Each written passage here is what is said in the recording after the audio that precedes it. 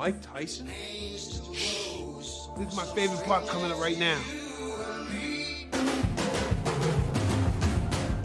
I can feel it coming in the air tonight. A chorus line guy. Hold on.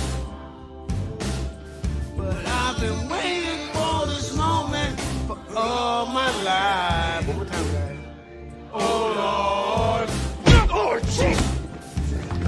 Oh, oh.